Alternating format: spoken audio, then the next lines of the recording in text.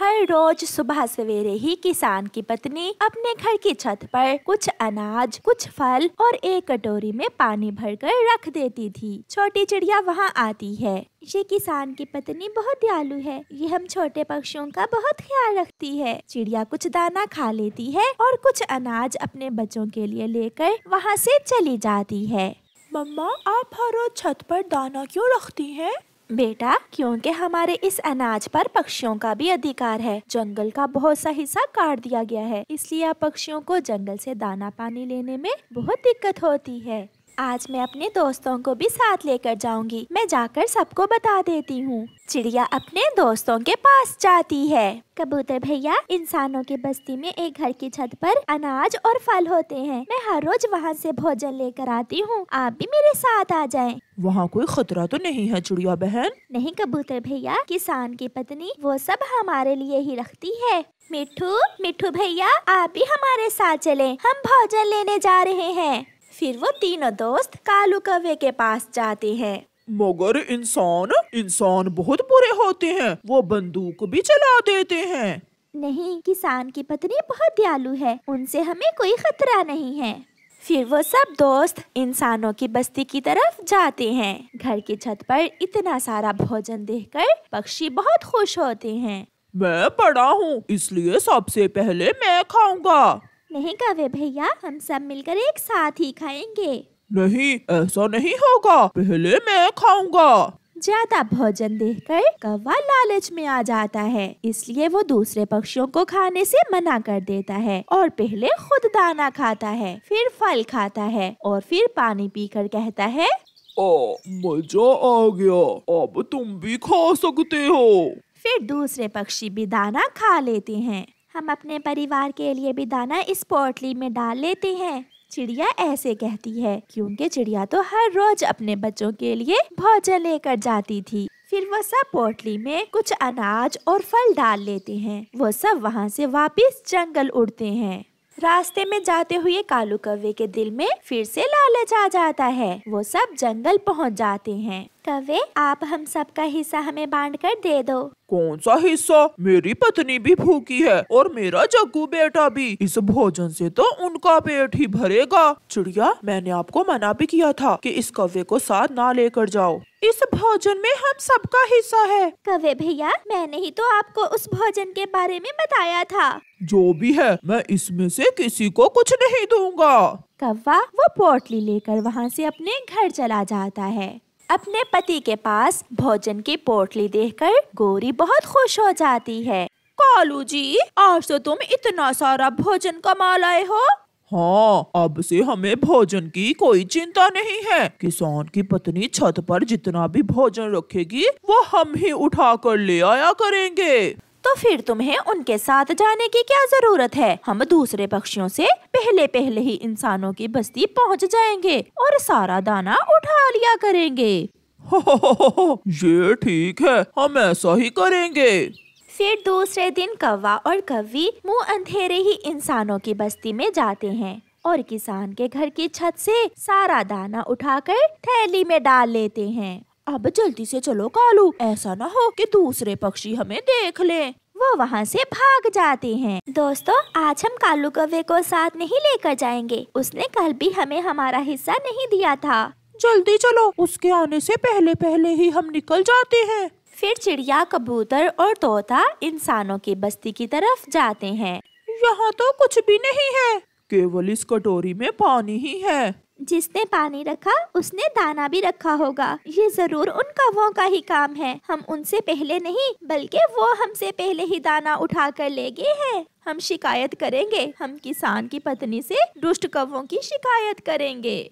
फिर वो सब आँगन में बैठी हुई किसान की पत्नी के पास जाते हैं। माँ जी, वो दुष्ट कौवे हमें आपका रखा हुआ भोजन नहीं खाने देते। आज फिर हम भूखे रहे हैं। वो सारा ही भोजन उठा कर ले गए हैं। जो खाया सो खाया। बाकी जो बचा वो उठाकर घर ले गए हैं अपने। अगर वो कौवे इतने लालची हैं, तो उन्हें उनके लालच की सजा मिलनी चाहिए। आप सब चिंता ना करें उन कौवों को सजा ज़रूर मिलेगी। पक्षी किसान की पत्नी से कुछ अनाज लेकर वापस जंगल चले जाते हैं। चिड़िया नदी पर बैठी हुई थी, जब गोरी कव्वी वहाँ मीठा फल लेकर आती है। ये फल बहुत स्वादिष्ट है। गोरी, कहाँ से लिया है आपने ये फल? ये फल मेरी माँ लेकर आई है मेरे लिए। आपकी माँ लाई है या किसान के घर की छत से उठा कर लाए हैं आप? ना ना, हम तो आज इंसानों की बस्ती में गए ही नहीं। दूसरे दिन सुबह सवेरे ही कौवा और कव्वी फिर से इंसानों की बस्ती की तरफ़ चले जाते हैं। मगर आज छत पर दाना नहीं था बल्कि वहाँ एक पिंजरा पड़ा हुआ था जिसके अंदर कुछ अनाज और कुछ फल थे। कालू जी यहाँ ये पिंजरा क्यों है? हमें इसे कोई खतरा नहीं है। किसान की पत्नी बहुत दयालु है। हमें उसे कोई डर नहीं है। ऐसा कहते हुए कालू कौवा पिंजरे में घुस जाता है। पीछे ही गोरी कव्वी भी पिंजरे में जाती है। जैसे ही वो दोनों पिंजरे में जाते हैं, किसान की पत्नी रस्सी खींचकर पिंजरे का दरवाज़ा बंद कर देती है। कव्वो लालच बुरी बला होती है। इतना भी क्या लालच कि तुम अपने ही दोस्तों को धोखा देते हो? माँ जी, हमें माफ़ कर दें। माँ जी हम लालच में आगे थे फिर हम कभी ऐसा नहीं करेंगे। थोड़ी देर बाद दूसरे पक्षी भी वहाँ आ जाते हैं। वो रहे लालची कव्वे वो रहे वो पिंजरे में कैद हैं। किसान की पत्नी ने इन्हें अच्छी सजा दी है। अब ये कव्वे जान जाएँगे कि दोस्तों का साथ ज़रूरी होता है। फिर पक्षी मज़े मज़े से भोजन खाते हैं। चिड़िया चिड़िया बहन प्लीज़ हमारी मदद करो। किसान की पत्नी आपकी बात मानकर हमें आज़ाद कर देगी। ताकि आज़ाद होने के बाद तुम दोनों फिर से हमारे साथ चलाकी करो और हमसे पहले पहले ही आकर भोजन उठा कर ले जाओ। चिड़िया माँ कसम हम कभी ऐसा नहीं करेंगे और ना ही तुम सबसे लड़ाई करेंगे। किसान की पत्नी भी सीढ़ी लगाकर ऊपर आती है। मैं तो समझी थी कि लालची हम इंसान ही होते हैं, मगर ये कवे तो हम इंसानों से भी दो हाथ आगे हैं। पक्षियों, आप दाना खाओ, पानी पियो, और ये कवे इसी पिंजरे में ही रहने दो। इनकी अकल ठिकाने आ जाएगी। मैं मर जाऊँगा। दोस्तों, मुझे छोड़कर न जाना। मैं मर जाऊँगा। मैं तो कैद में एक दिन भी ज़िंदा नहीं रह सकता। फिर वो सब पक्षी किसान की पत्नी से कहते हैं, माँ जी, इन्हें माफ़ कर दें। इन्हें अपनी गलती का एहसास हो गया है। माँ जी, पहले इनसे पेपर साइन करवा लें कि ये फिर कभी लालच नहीं करेंगे। फिर किसान की पत्नी एक पेपर पर लिखती है और उन कौवों से साइन करवाती है और उन्हें आज़ाद कर देती है। कौवे तो पिंजरे से निकलते ही वहाँ से भाग जाते हैं, जिन्हें देखकर दूसरे पक्षी हंस रहे थे। ऐसे कौवों को उनके लालच की सजा मिलती है। प्यारे दोस्तों, इस कहानी को लाइक करना बिल्कुल मत भूलना। आपका धन्यवाद। सूखे पेड़ के नीचे आराम से लेटा हुआ कालू कौवा गीत गा रहा था। मैं कौवा मैं कौवा काले रंग का, मैं कौवा, कुछ ना करना मेरा काम। कालू कौवा मेरा नाम, कालू कौवा मेरा नाम। लो लो लो लो लो लो लो। जब उसकी नज़र सामने से आती हुई चिड़िया पर जाती है, उसकी चोंच में भोजन देखकर कालू कौवा चिड़िया से भोजन लेने का सोचता है। मर गया मर गया। मैं गया। मुझे कुछ दिखाई नहीं दे रहा। कोई मेरी मदद करे। आए। चिड़िया कालू कव्वे की आवाज़ सुनकर वहाँ आ जाती है। कालू कव्वे, क्या हुआ है तुम्हें? और तुमने अपनी आँखें क्यों बंद कर रखी हैं? चिड़िया चिड़िया, मैं यहाँ भोजन की खोज में आया था कि कम वक्त दो मच्छर सीधे आए और मेरी आँखों में घुस गए। मेरी तो आँखें ही नहीं खुल रही। कव्वे भैया, आप मेरे पीछे पीछे उड़ते आए। मैं आपको आपके घर तक छोड़ देती हूँ। नहीं चिड़िया, ऐसे मुझसे उड़ा नहीं जाएगा। मुझे जोरों की भूख लगी है। मुझे थोड़ा सा भोजन दे दो। यही एहसान होगा तुम्हारा मुझ पर। चिड़िया नाटकी कालू कव्वे को थोड़ा सा भोजन दे देती है और वहाँ से चली जाती है। आहिस्ता से कालू अपनी एक आँख खोलकर देखता है और उछलने लगता है। चली गई बेवकूफ़ चिड़िया मुझे अपना भोजन देकर चली गई। आधा मैं खा लेता हूँ और आधा ले जाता हूँ गौरी के लिए। फिर कालू कौवा मज़े मज़े से आधा भोजन खाता है और आधा लेकर घर चला जाता है। मैंने जैसे ही चिड़िया को देखा तो तो मैंने अपनी दोनों आँखें बंद कर ली। अच्छा कैसे कैसे? मुझे भी करके दिखाओ। ऐसे ऐसे मैंने अपनी दोनों आँखें बंद कर ली। बहुत बड़े जोकर हो तुम भी कालू जी। लो मैं ये चिड़िया से हटाया हुआ आधा भोजन तुम्हारे लिए ले आया हूँ। तुम भी ये भोजन खा लो। फिर गौरी कवि वो भोजन खा लेती है। वो दोनों पति पत्नी हमेशा ऐसे ही दूसरे पक्षियों को उल्लू बनाकर उनका भोजन लेकर खा लेते थे। फिर एक दिन कालू कौवा तोते के पास जाता है और उससे कहता है तोते तोते वो मर जाएगा वो मर जाएगा। कालू कौन कौन मर जाएगा? कुछ बताओ भी। वो अमरूद का बड़ा पेड़ वो मर रहा है। और वो अमरूद का बड़ा पेड़ मरते समय दो मीठे मीठे अमरूद खाना चाहता है। अमरूद का पेड़ भला अमरूद क्यों मांगेगा? ये मैंने उससे पूछा था। उसने कहा कि सारी ज़िंदगी उसने हमें मीठे अमरूद दिए हैं इसलिए मरते समय वो भी मीठे अमरूद खाएगा। यार कालू मैं तो तुम्हारी भाभी हरियाली के साथ दूसरे जंगल जा रहा हूँ। तुम ये दो अमरूद ले जाओ और अमरूद के बड़े पेड़ को दे दो। कालू कौवा तोते से मीठे अमरूद लेकर वहाँ से भाग जाता है। वो वेराने में जाता है और वहाँ जाकर मज़े मज़े से मीठे मीठे अमरूद खा लेता है। वारे कालू आज तो अच्छे भले तोते को ही उल्लू बना दिया मैंने। शाम को जब तोता और तोती दूसरे जंगल से वापस आ रहे थे हरे भरे अमरूद के बड़े पेड़ को देखकर वो दोनों वहाँ जाते हैं। बड़े अमरूद के पेड़ आप तो अच्छे भले हैं। और कालू कौवे ने मुझे कहा कि आप मर रहे हो और दो मीठे अमरूद मांग रहे हो। मैं तो ठीक हूँ। तो क्या तुमने उसे मीठे अमरूद दे दिए थे? हाँ दोस्त। यही बात उसने मुझसे की। और मेरे ऊपर जो दो ही अमरूद थे, वो तुम्हारा नाम लेकर ले गया। उसने मुझसे कहा कि मिठू दो अमरूद मांग रहा है। पति जी इसका मतलब उस काले कव्वे के बच्चे ने हमें उल्लू बना दिया। तुम्हें तो बनाया सो बनाया। उस कालू कौवे ने तो मुझे भी उल्लू बना दिया। अब तो उस कालू को कुछ न कुछ करना ही होगा। रात को तोता और कबूतर चिड़िया के घर जाते हैं और चिड़िया को सारी बात बताते हैं। चिड़िया वो हमेशा झूठ बोलकर हमसे भोजन ले लेता है। उसे सजा मिलनी ही चाहिए। उपाय मैंने सोच लिया है। चिड़िया आप कल मुझे थोड़ी सी स्वादिष्ट खिचड़ी बना देना। खिचड़ी? कबूतर भैया खिचड़ी से कैसे कालू कौवे को सजा मिलेगी?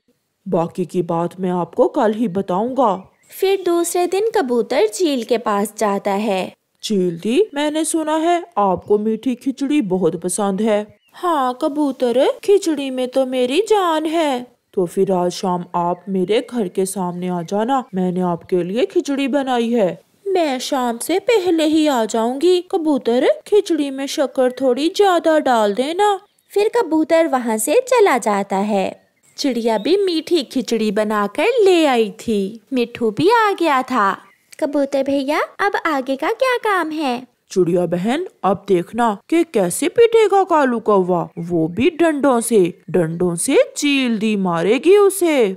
कबूतर भागा भागा कालू कौवे के पास जाता है और उससे कहता है कालू कौवे यार मैंने मीठी खिचड़ी बनाई है क्या तुम खाओगे मीठी खिचड़ी? ये सुनकर कालू से पहले ही गौरी कवि बोलती है। कबूतर मेरे सुंदर आँखों वाले भाई जी कालू का तो कल से पेट खराब है। मैं खा लेती हूँ वो मीठी खिचड़ी। पेट खराब में तो डॉक्टर भी खिचड़ी खाने का बोलते हैं मैं भी खाऊँगा। तो फिर जल्दी से जाओ। मेरे घर के बाहर डाल पर खिचड़ी की हंडिया पड़ी है। जाकर जल्दी से दोनों ही खा लो मीठी खिचड़ी। गोरी कालू से आगे और कालू गोरी से आगे भागता है। दोनों जल्दी से कबूतर के घर की तरफ़ जाते हैं। अब मिलेगी सजा तुम्हें काले कव्वो? हमेशा हमें उल्लू बनाते हो। कबूतर भागता हुआ पहाड़ों पर चील के पास जाता है। बहुत मारा चील दी मुझे कालू कवे और उसकी पत्नी ने बहुत मारा है। कबूतर वो क्यों कालू कवे ने तुम्हें क्यों मारा है? चील दी। मैंने जो खिचड़ी आपके लिए बनाई, वो मुझसे कालू मांग रहा था। मैंने मना किया तो मुझसे लड़ाई शुरू कर दी और मुझे मारा। उस काले कौवे की इतनी हिम्मत कि मेरी खिचड़ी तुमसे छीन कर खाए? उसे मैंने बताया था कि खिचड़ी तो मैंने अपनी चील दी के लिए बनाई है, मगर ये सुनकर वो और भी गुस्से में आ गया और मुझे डंडों से मारने लगा। ये है वो डंडा जिससे कालू ने मुझे मारा था। लाओ, तुम ये डंडा मुझे दो और मेरे पीछे पीछे आओ। मैं देखती हूँ उस काले कौवे को। कालू अब बस भी कर जाओ। तुम्हारा पेट है या कुआ अब मुझे भी खा लेने दो। बारी बारी। पहले तुम्हारी बारी थी और अब मेरी बारी है। दूसरे पेड़ के पीछे तोता और चिड़िया छुपे हुए थे। ये कबूतर न जाने कहाँ चला गया। अब तो कौवों ने सारी ही खिचड़ी खा ली होगी। इतनी ही देर थी कि चील भी डंडा उठाए भागी भागी वहाँ आ जाती है। रुको रुको काले कव्वो ये खिचड़ी तुम क्यों खा रहे हो? चील को देखकर गौरी और कालू की तो जान ही निकल जाती है। चित चील दी ये खिचड़ी हमें कबूतर ने दी है। झूठ ये झूठ बोल रही है। चील दी मैंने तो ये खिचड़ी आपके लिए बनाई थी मगर इन काले कौवों ने मुझसे हंडिया ही छीन ली। फिर क्या था? चील बड़े डंडे से दोनों कौवों की खूब पिटाई करती है।